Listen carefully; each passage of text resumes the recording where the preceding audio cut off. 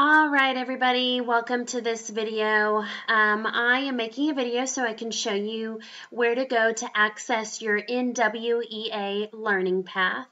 Um, so what this learning path is, is um, it took your MAP assessment, um, and you may have taken that a long time ago or maybe just recently, and it kind of determined the areas that you might need a little bit more support in and it is going to help you work on some of those skills and those standards. So I'm just going to show you, it's a lot easier.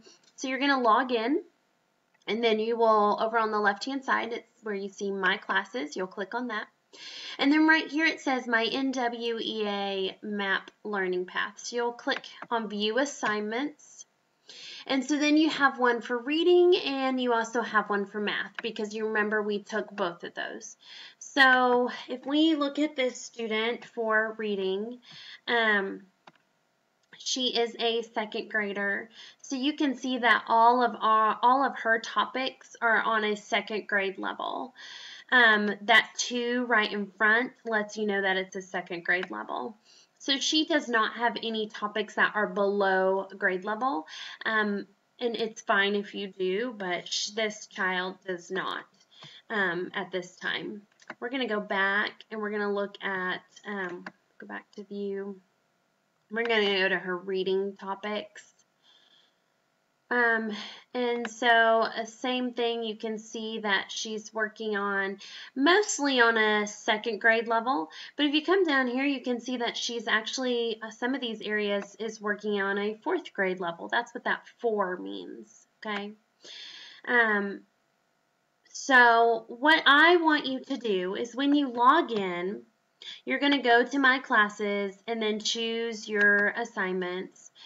And I want you to look and I want you to find the ones that are below your grade level. So if you're in fifth grade and you see skills that are um, like a third grade level, second grade, or fourth grade level, then I want you to work on those skills because they will be working at that grade level, which will help you to work at your grade level. So don't get all upset about it. It's just going to help you to eventually work up to your grade level. Here's the deal, guys. You have it's like building blocks. You have to have a good foundation to be able to build on top of something, right? So if you didn't really have a teacher that taught you taught it to you well in third grade, a certain skill or standard, then it's going to be hard for you to work on something at a fifth grade level, right? So we've got to build that foundation at the third grade level or whatever grade level, and then continue to build upon it. So you will just choose. And if and everybody should be working in Study Island. So if you haven't, you really need to start doing that. Um, my suggestion would be to go through the um, lesson. The lessons are pretty brief, but um, go through the entire lesson. Okay. Some of them include videos. You need to make sure you're watching those videos, guys. That's important. You want to watch those videos. And then when you're, see, here's a movie right here. So you want to make sure that you are taking the time to watch this movie. Is it, you know, some of them are some of them kind of silly? Yeah, probably, but it's going to help you. And then you'll go to the practice. Now, the point is to earn a blue ribbon. Remember to earn a blue ribbon, you have to make a 70% or better. If you take a practice and you do not make a 70% or better, you're going to have to do it again, okay? Now, each time it's going to give you different questions, so make sure you're going through that lesson. It's really important that you guys do that. Excuse me. So what I want you to do is make sure that you're working at this in this learning path for right now.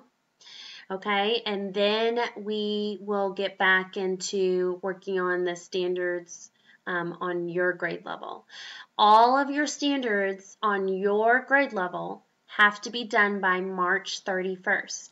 So we're going to get through these skills or standards that you might have that are below grade level and then we'll work on skills that are on your grade level until March 31st.